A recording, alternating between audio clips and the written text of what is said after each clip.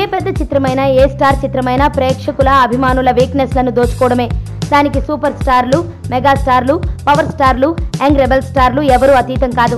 ఇటీవల కాటమరాయుడికే కాదు బాహుబలి వన్ విషయంలో కూడా నిస్సిగ్గుగా దోపిడీ జరిగింది.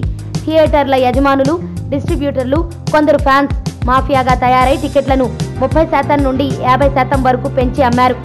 టికెట్లను బ్లాక్ చేసి బ్లాక్లో అమ్ముకున్నారు. చారిటీ పేరుతో అడ్డదిడ్డంగా దోచుకున్నారు.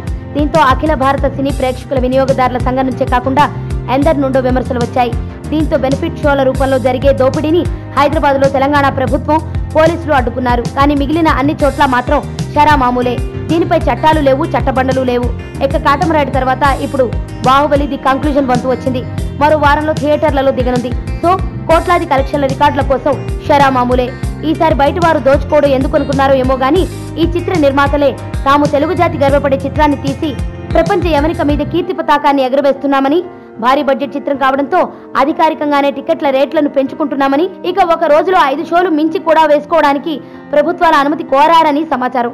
ఇక బాబు కేసీఆర్లు అపర బాహుబలి సృష్టికర్తలు. ఒకరేమో బంగారు తెలంగాణ మరొకరు సెట్టింగ్ల అమరావతి సృష్టికర్త. కాబట్టి వారికి పర్మిషన్ ఖాయమైన పర్మిషన్ ఖాయమైనట్లేనని ఇక దోచుకోవడమే తర్వాయి అంటున్నారు. నా పేరు ధనుష్ రిషి అందరూ ముద్దుగా దరి దరి అని పిలుస్తుంటారు.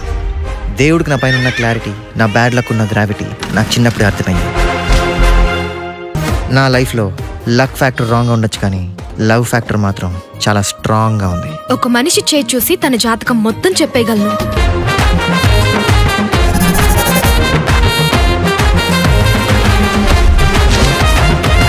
కమింగ్ సూ